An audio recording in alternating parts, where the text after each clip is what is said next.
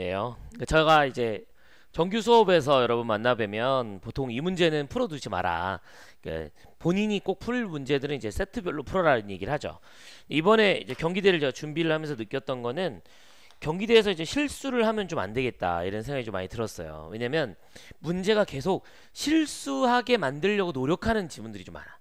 그러니까 거기서 빨리빨리 풀고 시간 남기지 말고 조금 꼼꼼하게 풀면서 시간을 잘 이용하시는 분들이 승리할 수 있겠다라는 생각이 듭니다. 그래서 그리고 또 많이 엄청나게 영어를 잘하는 학생들이 와서 경쟁하진 않잖아요. 그러니까 내 것만 먹으면 더 유리한 거예요. 그러니까 욕심 갖지 마세요. 아시겠죠? 오케이? 욕심 갖지 마시라. 자꾸 소리가 들어갔다 나갔다 하지? Hello hello 어 잘 들어가죠? 오케이. 자, 그럼 문제를 한번 풀어보도록 할게요. 첫 번째 지문입니다. 31번, 34번. 첫 번째 문제는 correct, 올바른 것 물어봤어요. 그러니까 이게 참과 거짓 문제니까 먼저 한번 읽어보면 좋을 것 같습니다. 그리고 어, 34번 문제가 또 동시에 뭐가 있냐면 추론하는 문제가 또 나왔어요. inference, 즉 추론이 나왔기 때문에 요 내용이랑 앞에 있는 또 31번 내용이랑 읽으면 왼쪽에 있는 글을 어느 정도 파악할 수 있다는 것이 장점인 거죠.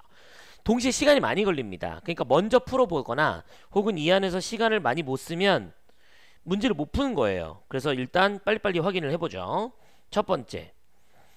몇몇의 폭탄들이 미국의 후지타의 공격 이전에 떨어졌다. 그러니까 뭐냐면 이게 첫 번째 공격이 아니라 옛날 공격 여러 번 이전에 있었다라고 하는 거니까요. 그 다음 두리틀 레이드가 나옵니다. 두리틀이라고 하는 게 이렇게 소문자가 아니라 대문자니까 사람 이름이겠지. 왼쪽에 있어요. 두리틀이 나옵니다. 여기 보면 라이크가 또 나오잖아요. 뭐뭐와 같이. 그러니까 아 미국에서 두리틀을 했구나. 그리고 일본이 아마 주, 그 후지타일 텐데 두리틀 레이드가 causing a high number of Japanese death. 죽음을 많이 그러니까 주, 일본 사람들 많이 죽이려고 했다라고 하는 것이니까 이렇게 연결됐고요. 3번 축축한 날씨가 폭발을 불을 하지 못하게 막았다.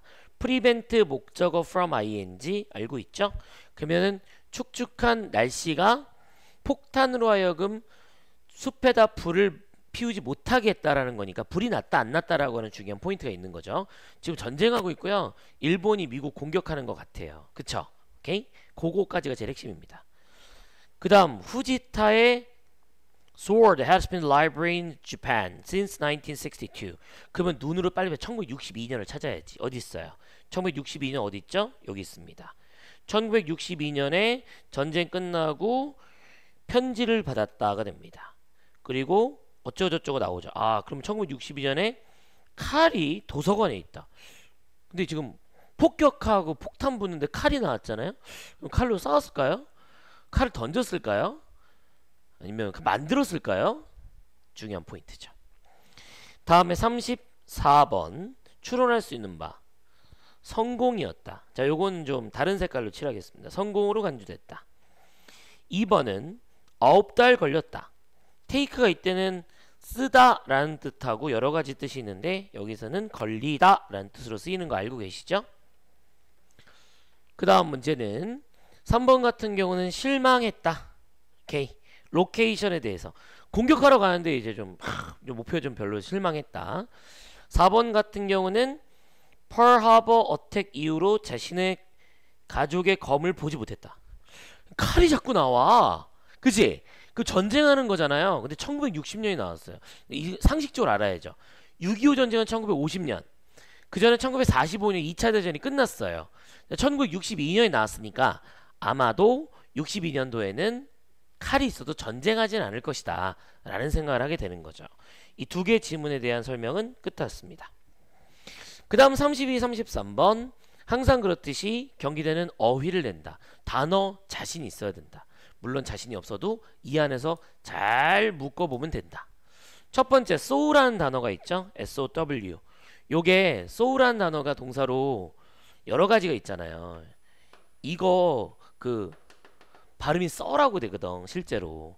그리고 soul라는 동사는 씨앗을 뿌리다라는 뜻이에요. 근데 얘도 써인데 이거는 그 바느질하다는 뜻이라고요. 근데 영화 중에 소우란 영화가 있거든. 소우. 이게 뭐 지금부터 시, 게임을 시작하지. 뭐 이런 내용인데 알죠? 막 사람 막 자르고 막 그런다고 요. 톱으로 자르는 거예요. 이게 써가 C의 동사의 과거인 동시에 톱이란 뜻도 있어요. 근데 얘가 발음이 원래 써인데 소우라고 했잖아. 왜냐면 써 그러면 영화 제목 너무 병신 같잖아요. 약 먹이는 느낌이잖아. 그래서 발음을 이렇게 했는데 실제로 발음이 얘는 얘가 소우가 맞아요. 그러니까 얘가 안 맞습니다. 실제로는. 얘가요? 그 소우는 씨앗을 뿌리다는 뜻이야. 자 돌아와요. 그러면 씨앗을 뿌릴 거면 어떤 내용이냐면 뒤에 fear 공포의 씨앗을 뿌리는 거였죠. 그럼 공포를 뿌린다는 얘기를 의역하면 뭐냐면 씨앗을 뿌린다라는 내용으로 봤을 때는 씨앗을 퍼트린다, 공포를 퍼트린다라는 내용의 spread가 정답이 되는 거지. 동시에 33번 문제는 읽기 전에 A번에 게스트가 나왔다는 거, 요 부분 as a 빈칸한 게스트였다는 면에서 어떤 게스트였을지를 한번 생각해 봐야 될 것 같습니다. 그리고 1962년 이해했거든요. 자 이제 왼쪽으로 문장 가서 파악하면서 문제 풀겠습니다. 전 동시에 갑니다. 1942년 9월 1942년 9월 일본이 펄하버 전투 즉 하와이에다가 진주만을 공습한 9개월 정도 있다가 젊은 일본의 파일럿인 노부오 후시타라는 이름의 이 일본인 파일럿은 수행하게 됩니다. The first aerial attack. 여기다 밑줄 first aerial attack 이란 얘기는 오른쪽에 이전에 있었다 1번 탈락이 되는 근거죠. 근거죠. First aerial attack on the US mainland. 미국의 본토에 처음으로 폭탄을 퍼붓는 목표를 했다는 겁니다. 근데 like죠. 미국의 두리틀 공격 때와 비슷하게. 근데 그 다음에 위치 관계대명사. 그러니까 실제로 얘는 문법 물어본 거예요.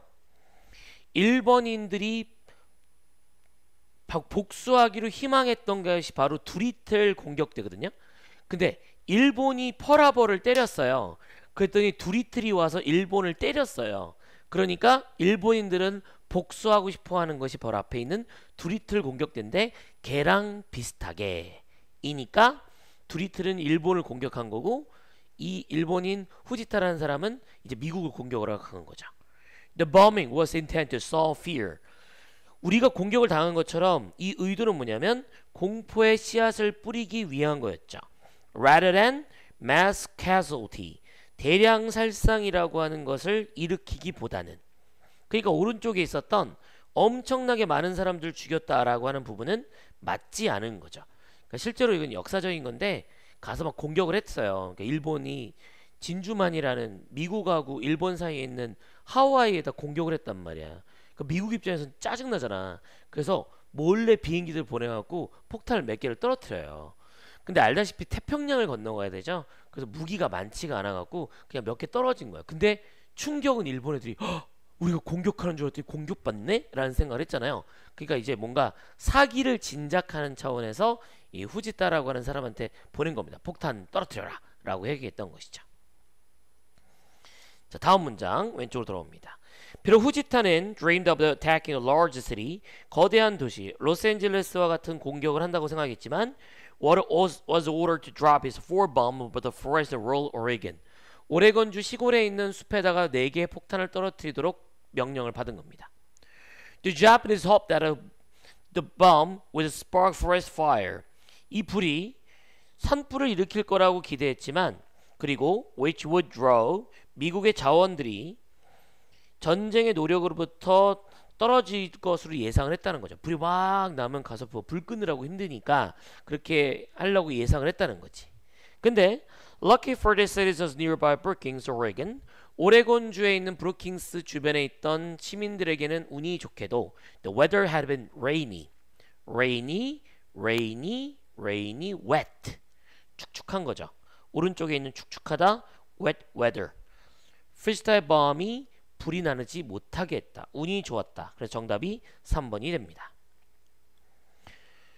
이 사람들은 운이 좋게도 불이 붙지 않았고 so the incendiary bombs caused a little damage. 그래서 별로 데미지가 없었다는 겁니다.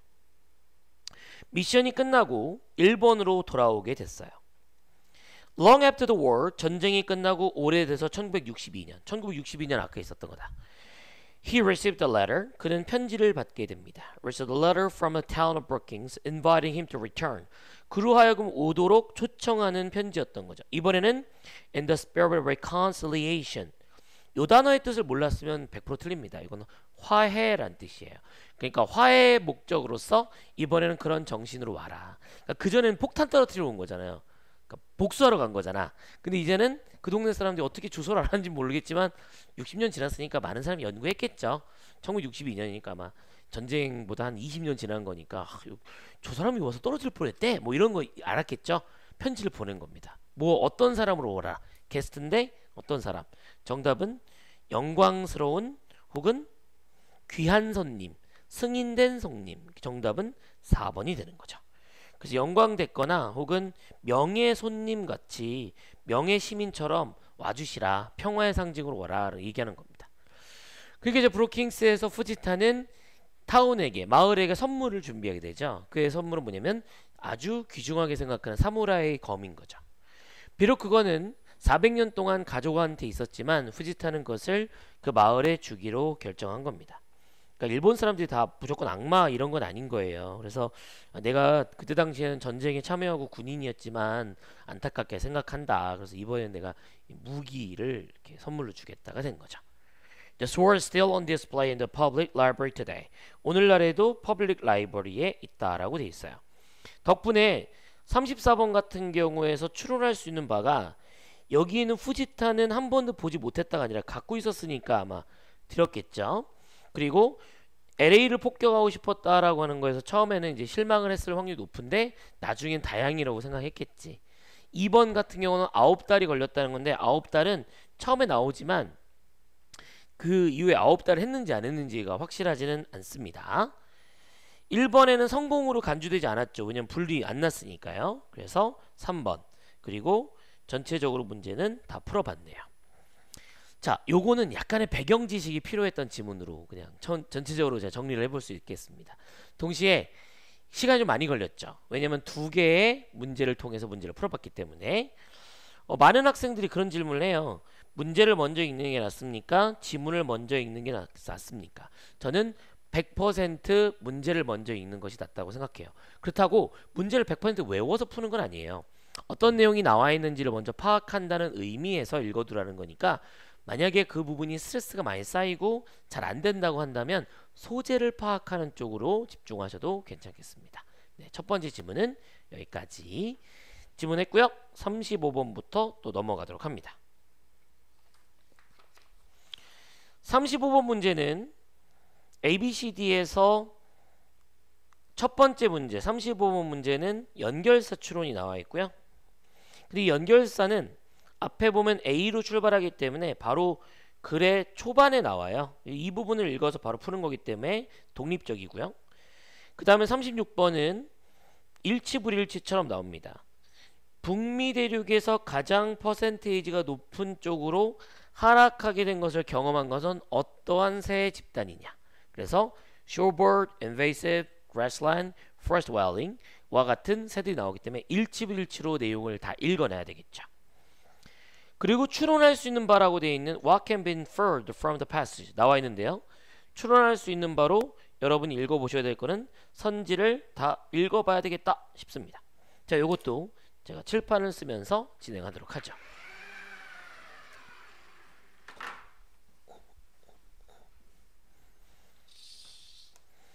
이 문제에서 37번 내용에서의 선지는 기본으로 추론이 가능한 것을 물어보라는 거죠. 그러면 4개 중에서 하나만 추론이 가능하고 나머지는 틀렸다는 뜻이에요. 그럼 이렇게도 볼 수 있죠. 하나라도 틀리면 틀린 거다. 즉 fate of a bird가 아니라 이게 뭐 예를 들어 mate다. 그럼 틀린 거예요. 오케이? 그러니까 하나라도 꼬투리를 잡으면 되는 거죠. 그래서 나름의 정보를 딱딱딱 잘라 봅니다. 첫 번째 새의 운명은 point potential threat 위협이다. 다른 동물에 의해서 놓여진 한마디로 뭐냐면 새의 운명은 지들이 잘해서 되는 게 아니라 다른 종들이 뭔가 탁 설명을 해주고 뭔가 이제 지칭을 해주기 때문에 그런 것이다라고 하는 것이라서 포인트가 되기 때문에 근데 위협이라는 게 이렇게 놓여졌잖아요. 그래서 새의 운명이라고 하는 것이 지칭해 주는 것은 잠재적인 위험이 있다라는 것을 알려준다는 거죠. 오케이? 새의 운명을 보면 다른 녀석들도 볼 수 있다. 2번 bird species declining 요거 이제 시비 걸거리잖아요. 감소하고 있다. 근데 올라갈 수도 있는 거지. 그 다음에 중요하게 뭐뭐 때문에 그러면 invasive species라는 것 때문에 보통은 그렇다가 되죠. invasive는 아까 위도 나왔어요. 그 어, 이 36번에 보면 2번 선택지 나오잖아. 그래서 침입하는 이란 뜻이죠. 근데 저기 species 나니까 침입종. 그러니까 우리로 따지면 우리나라에 원래 없었던 뭐 황소 개구리 이런 것들이 invasive species라고요. 근데 위에는 invasive bird라고 나왔으니까 침입한 종. 원래 우리 동네 안 사는 새인데 다른 애들이 들어온 거지. 그죠? 이런 내용이다. 3번. 가장 흔한 종은 proving the best able to adapt. 가장 잘 적응이다. 적응하다 adapt란 단어 많이 쓰잖아요. 적응하는 녀석이다. 그죠? 어디인가 적응하게 되고 제일 잘 적응하는 것들이 가장 잘 살아남는다. 그치? 흔한 녀석. 4번 숫자가 떨어진다. 그러니까 숫자가 떨어지고 있는데 most along common bird. 여기 보면 migration route인데 common bird migration 루트를 따라서 그러니까 새들이 이동하는 경로를 따라서 제일 많이 떨어지더라 라고 하는 거죠. 그러니까 새가 철새가 이동하는 경로를 따라서 그렇다는 거니까 이 내용을 대충 읽었는데 사실은 새라고 하는 포인트를 잡았고요. 그리고 윗글에는 새가 없어지고 있나 봐요. 문제가 되고 있나 봐. 왜냐면 이 문제뿐만 아니라 보면은 36번에서도 없어지고 있다는 내용이 나오거든요.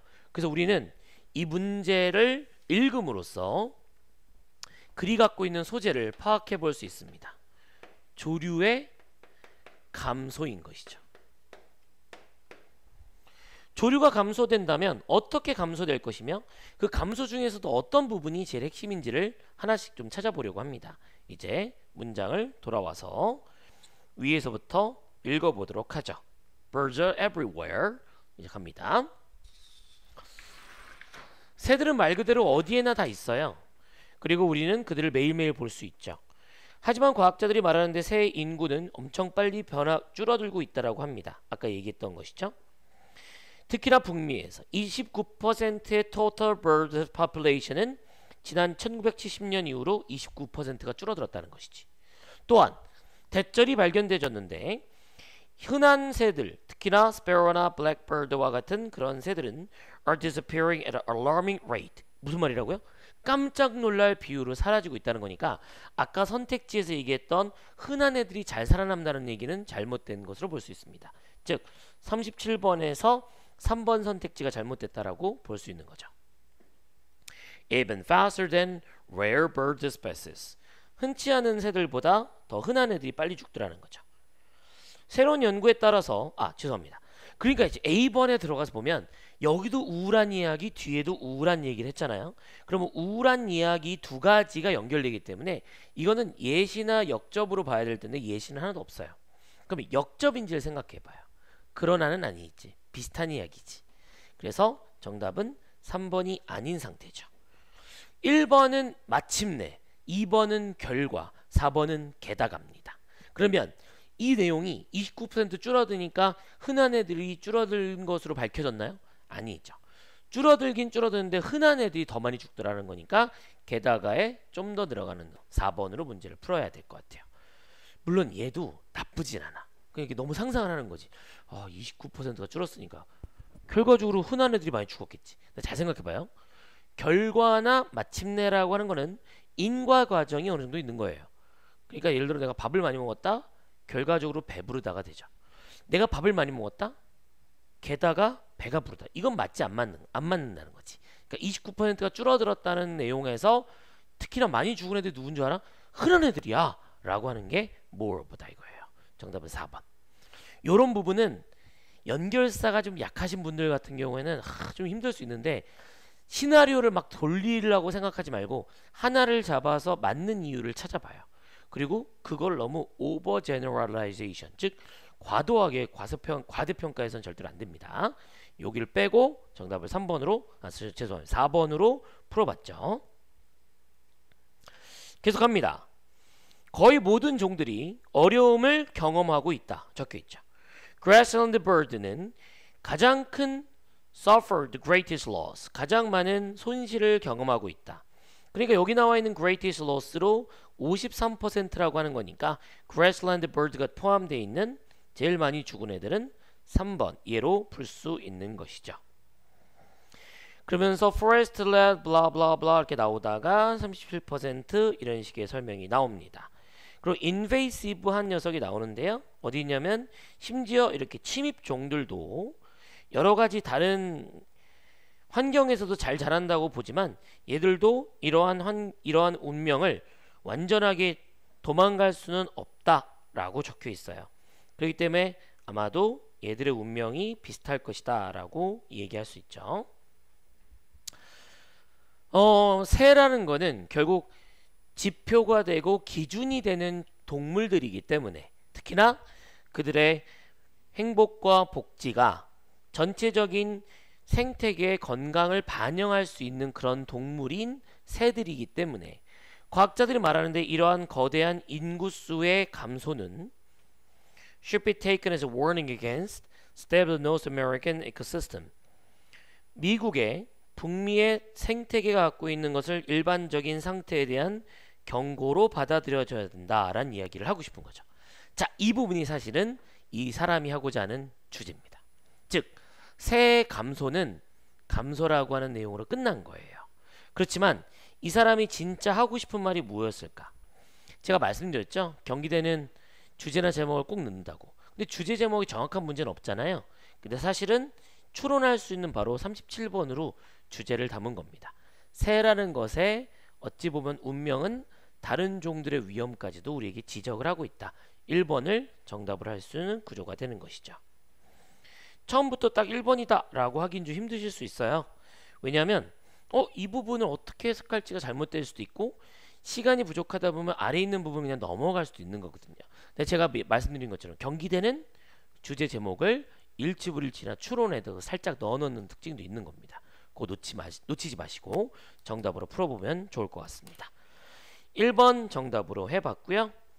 맨 마지막에 보면 뭐 migration route 이런 거 보면 나오지 않은 것 같아요. 그래서 문제를 1번으로 마무리하겠습니다. 네, 다음 문제, last 문제 되겠네요. 제가 원래 목 상태가 좀 안 좋아갖고 오늘따라 어, 재채기를 계속해서 재채기를, 응, 재채기를. 그래서 그러지 내가 뭐 코로나 이런 건 아닙니다. 걱정하지 마십시오. last 문제 해보겠습니다. 자 마지막 문제는 이 단어 Ultimate Game이라고 하는 이 단어를 알아두셔야 도움이 될 수 있어요. 이 문제의 핵심 소재는 최종 최후 통첩 게임이라는 단어가 나오는 거죠. 근데 최후 통첩 게임이라는 거를 모르는 사람은 어떻게 풀까?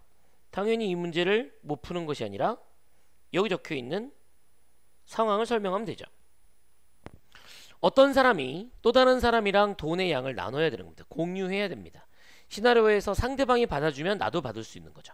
그러니까 최후 통첩으로 받거나 못 받는 거를 하는 겁니다. 그래서 만약에 오퍼가 거절되면 아무도 받지 못하는 상황인 거죠.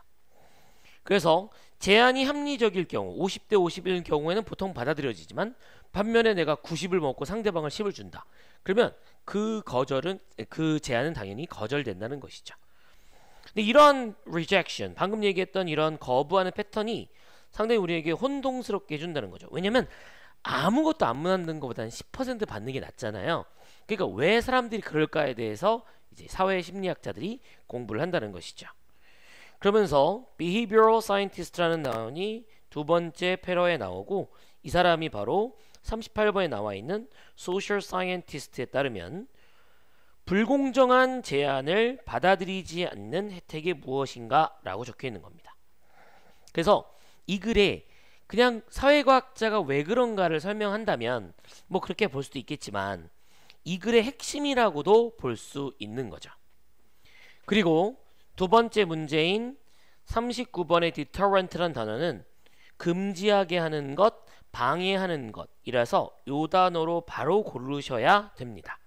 물론 2, 3, 4에 있는 단어를 몰랐거나 혹은 마음에 드는 단어를 고르는 상황이 될 수도 있지만 저는 기본적으로 deterrent란 단어의 뜻을 알아야 된다고 생각하거든요. deter라는 것 자체가 뭐뭐하지 못하게 하다, 금지하다라는 뜻이었으니까 동시에 deterrent란 단어가 포함되어 있는 문장은 여기 보면 deterrence against가 나왔으니까 이러한 자세라는 단어가 바로 it이 되면서 노란색하고 빨간색 체크한 게 다 같은 겁니다. 방금 있었던 자세가 좋은 건데 왜냐하면 이어지는 시도 attempt at abuse라는 단어가 나와 있죠. 그 이걸 뭐라고 봐야 될까? 저는 읽으면서 딱 생각난 단어가 두 글자. 뭔지 아세요? 호구예요, 호구. 호구로 본다는 거지. 그러니까 10대 90을 받으면 야 아무것도 안는 것보다 네가 10을 받는 게 낫지 않냐? 이런 걸 받으면 다음번에는 8을 주고 7을 줄 거니까 누굴 호구로 하나. 그래서 사람들이 받아들이지 않는다는 거지. 이해할 수 있겠어요? 오케이? 그래서 deterrent란 단어가 갖고 있는 의미를 보시거나 맥락을 봐서 전체를 해석해서 문제를 풀어봐야 될 것 같습니다. 그 다음에 마지막에 보면 얼티메턴 게임의 발견이 우리에게 관해서 사람에 관해서 우리한테 알려주는 바이니까 이 게임이라고 하는 하나의 실험이 우리에게 선사하는 지점이 무엇인가입니다. 이 부분을 잠시 후에 지문을 읽은 다음에 가도록 하겠습니다. 제가 왜 이렇게 가냐면요. 시간이 부족한 것도 있지만 요 38번하고 40번 문제를 좀 더 좀 따지는 거 시간이 좀 많이 걸려요. 그래서 이번에는 조금 지문을 먼저 읽도록 하겠습니다. 출발. 사회과학자들은 게임과 같은 시나리오들을 경제적인 의사결정을 연구하기 위해서 쓰기도 하죠. 한 가지 예시가 아까 얘기했던 최후 통첩 게임입니다. 답, 뭐, 답 상대방이 받으면 받을 수 있고 받지 않으면 나도 못 받고 쟤도 못 받는 상황. 그 상태에서 나만 그 비율을 정할 수 있을 때 나는 몇 대 몇으로 주는 경우가 있느냐. 상대방이 아무것도 안 받는 것보다는 10이라도 보는 게 받는 게 나을 텐데 왜 그, 그 가끔 그 사람들이 거부할까까지가 읽었던 내용이었습니다. An explanation 두 번째 paragraph 불공정에 대한 반응에 대한 이러한 종류에 대한 하나의 설명을 찾아가면서 행동과학자들은 대절이라고 우리에게 한번 제안을 하기도 했죠. 아마 그것이 사람들에게 특정한 장점을 주는 게 아닐까라고 생각하는 겁니다. 즉 반응이라고 하는 건 불공정이라는 것 자체는 10%만 받는 거잖아요. 아예 안 받는 것보다는 10% 받는 게 낫거든요. 근데 10% 받는 것이 별로다 라고 하고 아예 안 받아버리는 것이 어찌 보면 장점이기 때문에 그러지 않겠느냐라고 유추한다는 거죠. By rejecting an imbalanced offer. 균형 잡히지 못한 제안을 거절하면서 even when doing so comes at an immediate, immediate personal cost 즉각적인 개별적인 비용으로 오게 되는 거죠. 비용이라 하면 내가 돈 내는 거지만 받을 걸 안 받는 것도 비용이라고 친 거예요. 왜냐면 내가 못 받은 거니까. 그러니까 예를 들어 알바를 열심히 했는데 상대방이 막 그 사장님 뭐라 그런 거죠. 그래서 어 너무 하신 거 아니? 뭐 싸웠어요. 그, 너 그러면 돈 안 줄 거야? 지금 30분 안 지났거든? 예를 들어 1시간이. 그러니까 됐어라고 나갈 수 있는 거죠. 이게 보면 내 입장에서는 뭐 시급 5천 원을 못 번 코스트라고 보는 거지. 그런 상태에서 오게 되는 상황에서 그 사람은 assert that he or she will not tolerate unfairness. 공정하지 못한 것은 절대 참지 않을 것이다. 라고 그 사람이 얘기를 한다는 거예요. 이해되시죠? 어떤 내용인지. 이러한 자세, 이게 deterrent라는 거죠. 근데 이어지는 subsequent, 이게 핵심적인 단어다. 이어지는 abuse, 학대하고 남용하는 시도에 대항하는 억제하는 기계라는 거죠. 그러니까 내가 이걸 참으면 그 다음엔 더 나한테 제대로 안 줄 테니 이거를 내가 참지 않겠다 이거야. 상대방한테. 나 그래 안 해버려 짜증나. 왜냐면 내가 지금 양보하면 나를 호구로 알고 내일은 9원 주고 내일만은 8원 줄 테니까 그렇게 하느니 차라리 지금부터 안 할 거야 라고 얘기한다는 것이죠. 그래서 금지하는 장치가 되는 게 이러한 자세다 라고 볼 수 있는 거죠. 흥미롭게도 이러한 똑같은 불평등에 관한 반응은 has been found in other primates 다른 영장류에서도 발견되고 has been shown in humans 인간에서는 to have a rotten part of the brain 뇌에 있는 어느 일부 부분에서 이 뿌리가 있는 것으로 보여져 왔다. which plays role in emotional thinking. 감정적인 사고를 하는 역할을 담당하는 뇌의 일부분에 그 뿌리가 있는 것으로 밝혀졌다라고 적혀 있죠. 재미난 거는 여기 중간에 나와 있는 and. 여기 and를 보시면 다른 동물에서도 발견되고 인간에서도 발견되기 때문에 다른 동물과도 비슷하게 유사하다라고 볼 수 있어요. 이 부분을 먼저 체크해 놓고서 이제 문제 하나씩 보겠습니다. 38번 올라옵니다. 자, 사회과학자에 따르면 우리가 불공정한 제안을 거절하는 이유는 뭘까요? 그러면 이 불공정한 거절 그 제안을 거절하는 거에 있어서의 가장 핵심은 뭐였냐면 호구되지 않는 것이 중요한 거였죠. 그래서 1, 2, 3, 4 중에서 정답은 4번이 됩니다. 나중에라도 잘못 대접받게 되는 가능성을 낮춰준다. 정답은 4번이죠. 왜 1, 2, 3, 4가 안 될까? 1번은 안 되는 이유. 감정적인 스트레스의 원천을 줄여주게 된다는 건데 어찌 보면 감정적으로 스트레스가 줄여준다라고 할 수도 있지만 그 스트레스라는 부분이 나와 있지는 않죠. 그냥 감정적인 부분을 관장하는 뇌에서 결정한다라는 내용이에요.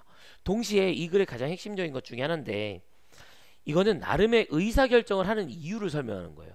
기분이 나빠서가 아니라 그리고 사실 이게 실험이니까 돈 안 받아도 되고 받아도 되는 거잖아요. 근데 괜히 그냥 안 받게 되는 그런 구조거든요. 그러니까 이 사람이 감정적이야 라고 하는 것을 설명하기 위해서가 아니다.